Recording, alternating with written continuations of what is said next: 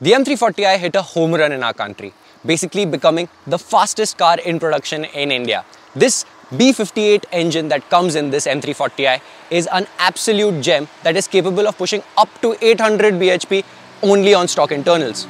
But the M340i is pretty committed. It has super stiff suspension, pretty much no ground clearance and yeah, not really a family car. That's why you should pick this. This is the BMW X3 M40i, the more sensible option if you're looking to get a car powered by the B58. Since car enthusiasts like Soham, you guys and I consider the M340i with the B58 a proper enthusiast car, my questions are which one should you pick? The X3 M40i for its added practicality and its added price tag or should you just go for the M340i and save up that money and maybe give up on some practicality? Let's find out.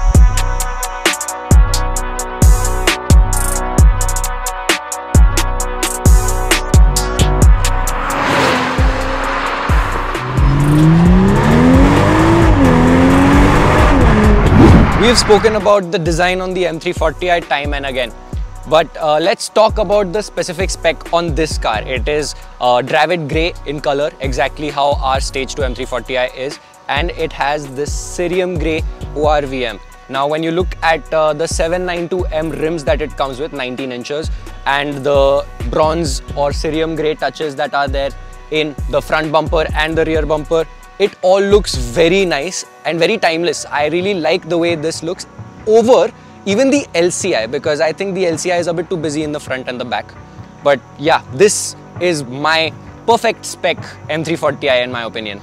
And even in the rear, I feel the pre-LCI M340i looks really nice. The bumper is not like the LCIs. It's a much cleaner design. It gets the cerium grey badges all around in the back, X-Drive and M340i badges. It gets this nice little lip spoiler over here. And overall, I think it's just the cleaner design out of the two compared to the LCI. So let's talk about the X3 now. So unlike the 340i that we have for this particular video, this is the X3 LCI. So it gets the updated headlights, tail lights, bumpers, and a lot of stuff in the interior as well.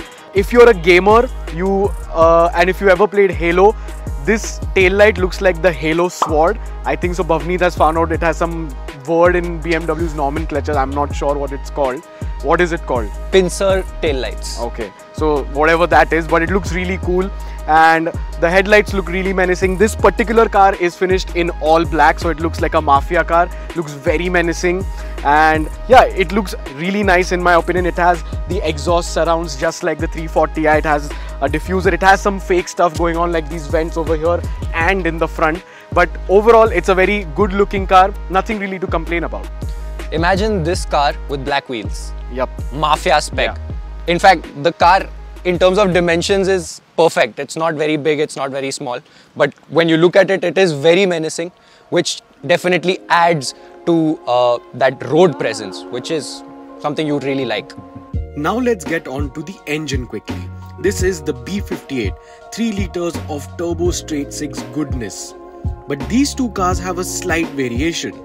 The pre-LCI M340i makes roughly 382 HP and 500 Nm of torque, which is mated to a ZF 8-speed torque converter gearbox. If you get the M340i LCI, you get 374 HP and 500 Nm of torque, slightly less power. And the ZF8 gearbox also gets an electric motor, making the LCI models mild hybrids. In the case of the X3, it makes 355 horsepower and 500 Nm of torque, lesser power than the M340i LCI2, and it also gets a ZF 8 speed with an electric motor. Can you really feel the power difference? Not really, but you can definitely hear the difference in exhaust notes.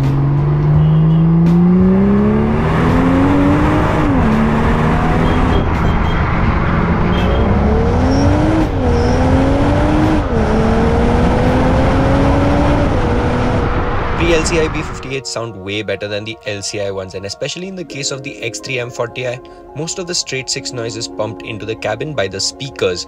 Do I hate it? Not really, but in terms of noise, the M340i takes it for sure. Now let's get to the big difference and the real reason why you would buy the X3 M40i over the M340i space and practicality. Now, We tried to find out the ground clearance of the X3 M40i online, but for some reason these publications think the 340i and the X3 M40i have the same ground clearance of 130 mm, which is definitely not true. So we searched on the USA sites and it shows the ground clearance of the X3 M40i to be 204 mm, a whole 74 mm more than the M340i, which means it is much easier to roam around in on our Indian roads. Then comes the interior space. The M340i is compact and snug, with it being a tight squeeze for people in the rear seat, especially tall ones, and the boot space is only 480 litres. The X3 on the other hand is much more roomy, gets a massive panoramic sunroof, 550 litres of boot space, loads more space for rear passengers and feels much more luxurious than the M340i overall. The M340i feels hunkered down and sporty whereas the X3 M40i strikes a good balance between sporty and luxury although this particular spec had carbon fiber lathered all in the inside.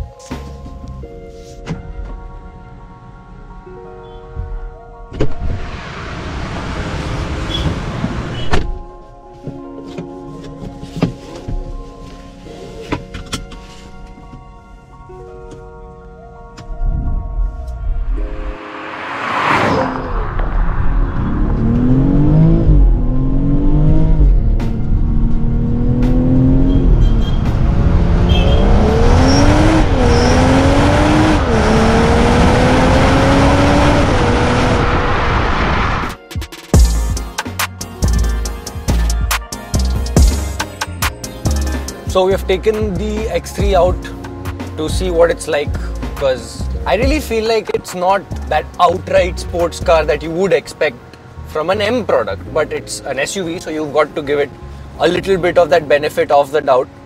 But yeah, if you're looking for outright performance and dynamics, then you should be looking at the sedan variant. For this does add quite a lot of practicality since the cabin is nice and big, there's quite a bit more space in the rear, and you get a little bit more boot space. But you do pay the price of performance, and there's no denying about that. I agree. So I just wanted to correct you on one thing. This is not an M product, let's be honest. It is an M light It is M Lite, I mean, by the amount of badges that the, this thing has got, it's above 15 badges at least. I agree. So they have gone overboard with the badges. You have a massive M badge over here. I mean, it's all over the place. And this particular interior is, you know, like lathered up with carbon fiber everywhere. So they have tried to go on for like a proper M, but it isn't. Let's be honest. Still has the B58. Again, fantastic motor. But the thing is, in this particular car, it uh, is a little detuned. It makes 355 HP and uh, 500 newton meters of torque. In the M340i, it makes somewhere around 370 to 380 horsepower. Uh, but apart from that, it's basically the same same thing. It is 3 liter turbocharged inline 6 paired to an 8 speed ZF torque converter gearbox. Uh, both of the cars, you know, in terms of the power delivery and all of that, feel pretty much the exact same.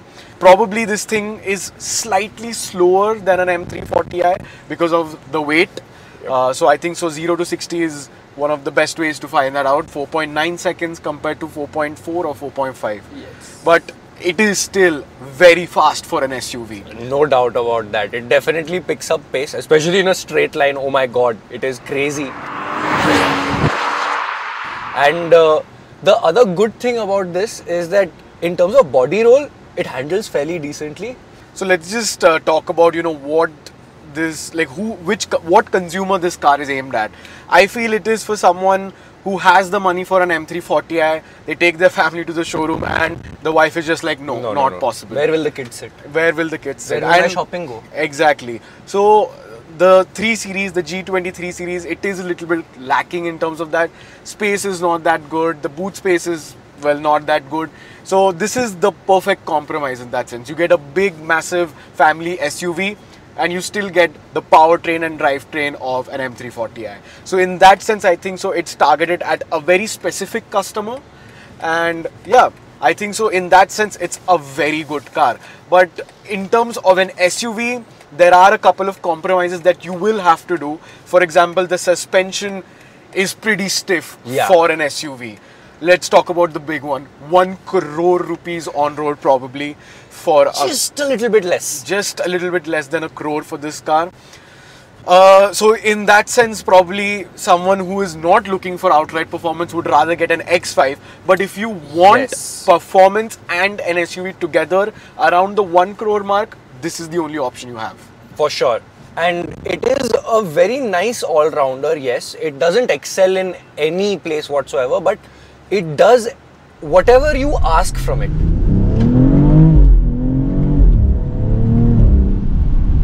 And if you need to overtake someone, it's going to do it. If you need to take the kids to school, it's going to do it. And even if you want to have a little bit of fun in the canyons, it's also going to do it. Uh, but yeah, a crore is a big asking price, especially when you consider it's a 20-ish lakh rupee premium over the sedan. I agree. But again, you do get much more space. You Yes. do get a lot of, you know, just, I wouldn't say creature comforts, but I just feel it's a more practical, more, uh, just a nicer car for a family. For sure, for sure. Because like let's be completely honest, the M340i in stock suspension is still stiff. Very stiff. It's still stiff, and like if you take your wife out in that, she's not going to be happy. yeah. If you take your parents out in that, they're not going to be happy. So this does bring that compromise where it's a bit more livable.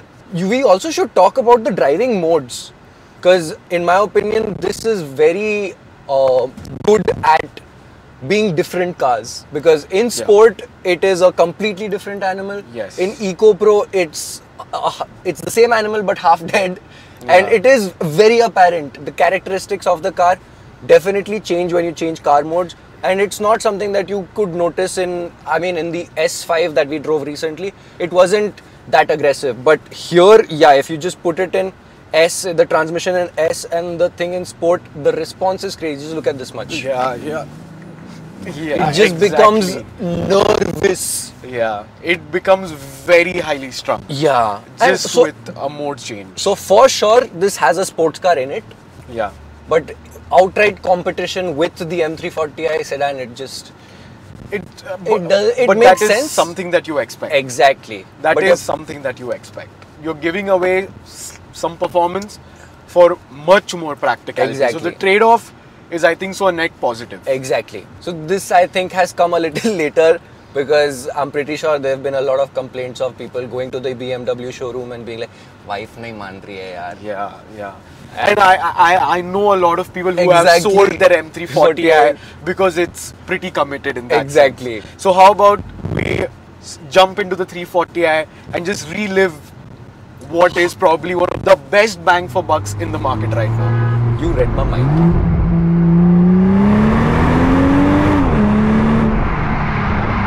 So driving the 340i again, I think so this year we've driven, at least I have driven quite a few 340i's. And yeah, I'm really happy to be back in the seat of one. Back in a stock one. Back in a after stock while. one, yeah. So in its stock form, it makes 370 bhp and 500 newton meters of torque. Somewhere around is, that, yeah. Which is a bit, quite a bit. Quite a bit, yeah. for especially for Indian roads. And uh, the way it is set up in a 3 series, it makes it not too big, not too small.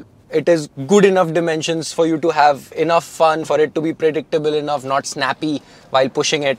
And yeah, with the all-wheel drive system uh, that this comes with, X-Drive, it's fantastic. It's a very difficult car to uh, basically put in a wall. Yep. It's a grip monster. Yep. Something that I didn't really feel in the X3 M40i. It was a lazier car. I think so that was down to the tires. I think so that particular car had no tires on it. The tires, I mean BMW India, if you're watching this, change the tires. Change the tires, please. Because it was pretty sketchy at some points. But I think so that car also has good amounts of grip, but I just think because it's taller, the center of Yeah, gravity it is much higher. Uh, so the handling is not as good. Of course, being a SUV, the handling will take a little bit of a hit. But overall, the X3 handles very well. But this This is just is it. on a different level because again it's a sedan lower and you of course have its downsides i mean going over speed breakers You gotta be careful. you got to be careful it's very stiff It's very stiff. for yeah. a sedan of this caliber it is very stiff this is not an m3 yet it is super stiff. And I think so a lot of people have those particular complaints saying it's very stiff. Now we just have a little open patch, we'll put it into sport. And let's see what sort of a difference sport in this car makes because in the X3 it It's was a night and day difference. It's a night and day difference.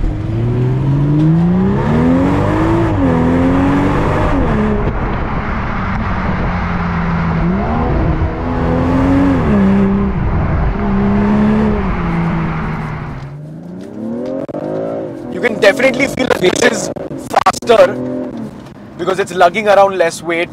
Uh, it feels more responsive. revs so much more urgently. Yep, Breath of fresh air always. yep, yep. Such a nice car. And yeah, over these bumps, the X3 was like a luxury car. This is Uh, this is like a sports car. giving you each and every bit Yeah, of the you outside road. each and every bump in it. But that's not a bad thing. Of course. It's good if you are single or if you are just you and your girlfriend or something like that. It's But- you with the car, bro. Yeah. That's you and the car. But yeah, that is uh, exactly the kind of client that needs to buy this car. It's the one who has no compromises.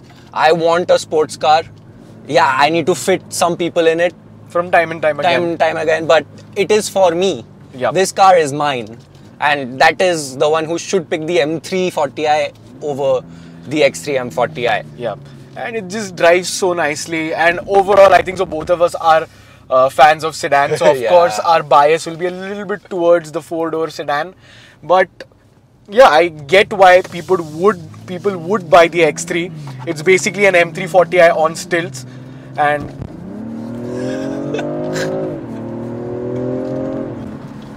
yeah, it's just so smooth. The B58 is just a beautiful engine.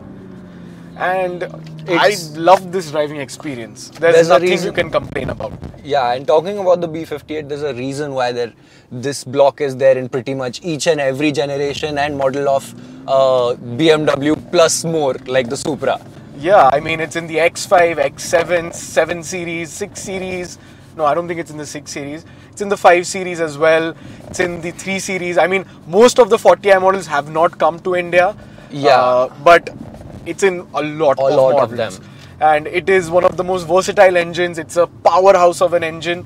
And yeah, if you want a more practical way of putting that engine to use, the X3 M40i Is the way to go. Is the way to go. But if you want outright performance, at least in India, M340. M340i. Yep.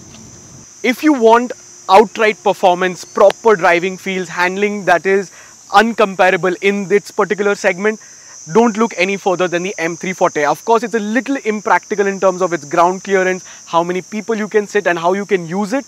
But if you just want it as a driving experience, I don't think it gets much better than the M340i. But if you want a Mr. Do It All, something that can go in the middle of the city, that can take slightly rough roads, go on road trips, and still be a botherless car, then well, the X3 M40i is a very good proposition. It's a comfortable car to drive. The driving modes are very different, which means that when you put it in full sport mode, it is a very good performing car. And yeah, you do compromise on a little bit of performance and dynamics, but you still have a car that you can practically use every single day, no problem at all. So, if you are that sensible man, choose the X3 M40i. Thank That's you so much for watching. Thank you so much for watching this video. Uh, I think so both of us would choose the M340i because we don't have kids or any wives or anything or like that. So this is definitely our pick, but we do really like that car. Makes So, sense. Yeah. Follow us on Instagram, subscribe to our YouTube channel, comment down below what you would choose, and I'll catch you in the next one. Bye.